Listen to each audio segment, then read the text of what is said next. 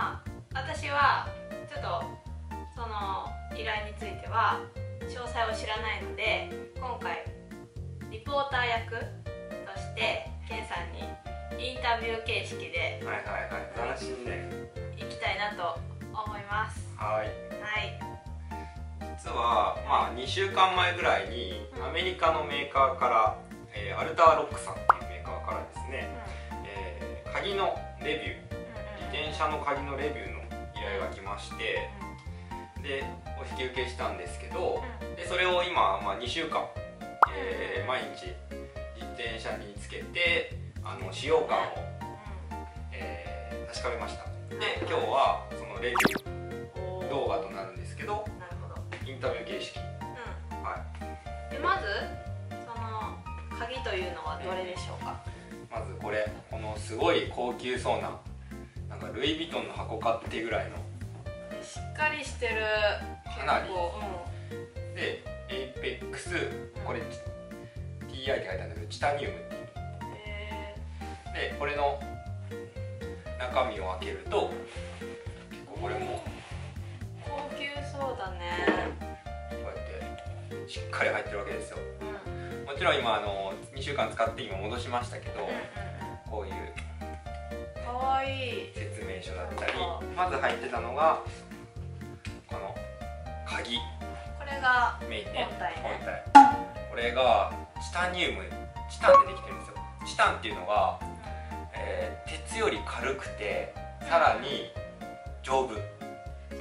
なんかケンさんって結構チタンに対しての憧れが強くない？強い。あのー例えば、まあ、私昔あの自動車業界の製造業にいたから、えーまあ、高級な車とかうん。あと航空機とか、うん。まあ、そういったとこに強度が必要だったり、あのーするところでけ軽量化も必要っていうところには必ずしもチタンが使われてます。でこのね依頼来た時にもう受けます。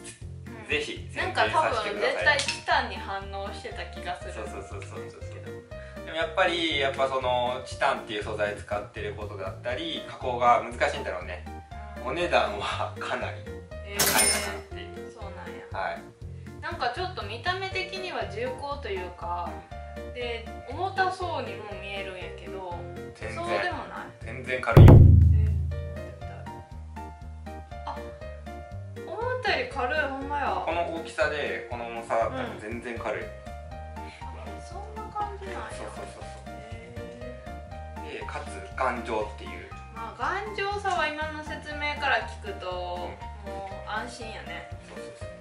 でその頑丈な鍵の鍵っていうのはまあ3つ入ってました。鍵の鍵ね。まあそうそう。でも俺もうなくしちゃったらうあの多分切るの相当大変。ん切れる。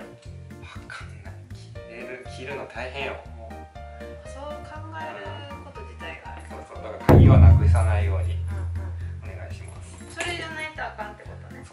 これで開くで方法なんだけどまあこういうふうに折りたためてえーとまあ今から紹介する例えばボトルケージマウントついてきました。付属？付属。でついてきました。でこれを、あのー自転車につけて普段は、えー、とまたサンプルの画像ここに載っけときますけど、こういうふうにここにスッて。はめてで結構精度はいい。でここが多分樹脂、まあ、プラスチックだから重量は軽い。このボトルケージマウントね。結構。ゴムで留めると。でこれ結構グラベルでも使ったしうん。普通のロードバイクあのうんエボでもう高速巡航とかして使ったんだけどもうこう振って分かるように。全然や。ガタガタなんやそう。音もカタカタカタカタって。いうのもないしなる時あるけどそうこのボトルケージマウントも結構精度が高い。だからまあちょっと入れる時に正確にこうまっすぐ入れないと入らないぐらいピタッと。えーさすが専用って感じやね。そう。でまあこうやって持ち運ぶのが多分多いかなと思うんですけどうん。他にも。別売りなんだけどこれは。うん。サドルバッグ。もらいました。これももらいました。でこれもねがついてそうそうそうそうそう。あじゃあ作ってるんやサドルバッグをでこれ自体、まあ、裏側も結構そのもう撥水防水効果のある素材でこれはまた動画撮っといたんで貼っときますけど、まあ、入れますと。鍵入れますと。で、まあ、ここにシートポストについてるんでね。でここをくるくるくるってして、え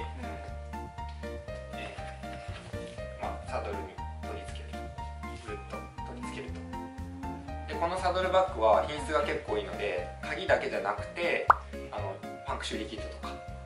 そういうのもまだ入る余裕は全然あります。へでもやっぱりちょっと鍵自体が、まあ、重さがあるもんで、あのーまあ、サドルバッグでもいいんですけど、まあこっちの方が BB 周りにつけれたりするから安定はするかなと思います。ダンシングの時にちょっと重さがあるから。少なからずあると。そうそうそうそう。BB 周りの方が。いい安定する。で実際使ってみてそれはちょっと思いましたね。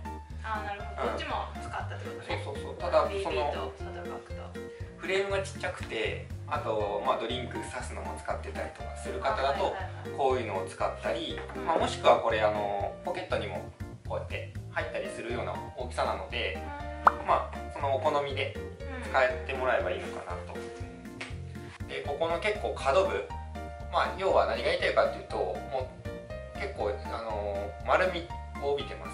うんうん。なんでフレーム傷つかないようにとかっていう配慮はされてます。うん尖ってない。皆さんこれ見た感じ金属丸々出てるって思われるかもしれないんですけど私2週間ガチガチ使ってちょっとこれはまあ私傷使ってみてやっと分かったことなんですけどちょっとまあ薄い膜薄い透明の膜みたいなのが剥がれがあるんですよ、うんまあ、要は樹脂がコーティングされてるのかな。なのでそのフレーム傷つくって思われてる方いるかもしれないんですけどあのここ結構まあちょっとわからないんですけどあの見た目だけでは。もうなんかその柔らかい素材が薄く塗られてます。うんここね。なんか違う金属って感じの質感じゃないわ。でももう見た目はもう本当にあのもう金属むき出しみたいなものおね。実際は、まあ、そういうフレームの傷つく心配がうん。やっぱりそこもあの結構配慮されてる高級な鍵ですね。で使い方は、まあ、フレームとか車輪でもいいですけどここに穴があって動かせるのであカチャンと。ー。角度が自分、はい。自由自在に角度が決めれるわけね。カチャンとはめてそうここにプッシュボタンがあるのでここを押してやると。こうやって。そうすると鍵がかかる。かかった。え簡単やなかけるの。ちょっとやってみたいな。了解です。簡単簡単。本当に。これはすごくいいよね。で一応キーナンバーっていうのが書いてあるから、うん。それをメモっておいてうなくした時はまあそれを、あのーちゃんとやればん。やってくれるんじゃないかなという感じですね、鍵を持っていくことねっていう感じやね。はめる時にいらんからはめる時に必要やったら結構あ鍵忘れたってなるけど。そうそうそう。だからはめる時に必要ないからあの鍵持ってるかどうかははめる前に確認しましょうね。そうやね。じゃないと忘れてて鍵かけちゃったら、大変なことになりますそれが言いたかった、はい、そこだけ注意点。でこれが今チタンカラーなんですけど他にもあの青とかホームページ見てみるとぱいあります。で色あるんや。これからまあこれアメリカのメーカーなんですけど、うん。まあ、いろんななんかどっちかというと落ち着いた色かっこいいんだって。うでこれを2個連結連結？させることもできそう。えっ、とねこういうふうに。わかる？これ2個の鍵を連結して。あーだからここが合うから。そうそうそう形だから状これこっちをもう一個の鍵にやってってこと？カチャってして。外す時の鍵はこういうまあちゃんと両方いるってことねこういうふうに。すごいよね。だから何個持っててもおしゃれだなってそっかじゃあ荷台とかをつなげようとしたら1人ずつ持ってって2人でつなげるとかできる。できるし、それはいいかもね。